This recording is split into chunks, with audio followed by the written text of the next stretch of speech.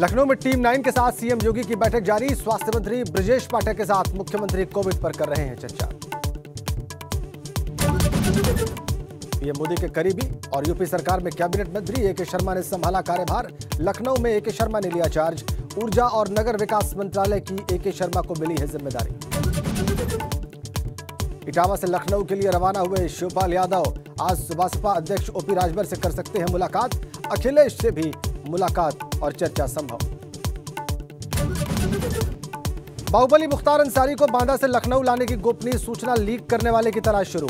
मुख्तार के बेटे और मऊ से विधायक अब्बास अंसारी को एक दिन पहले ही मिल गई थी पिता को लखनऊ लाने की जानकारी। एबीपी गंगा बना, यूपी उत्तराखंड के दर्शकों की पहली पसंद। एबीपी गंगा एक बार फिर नंबर वन। दर्शकों का बहुत शुक्रिया।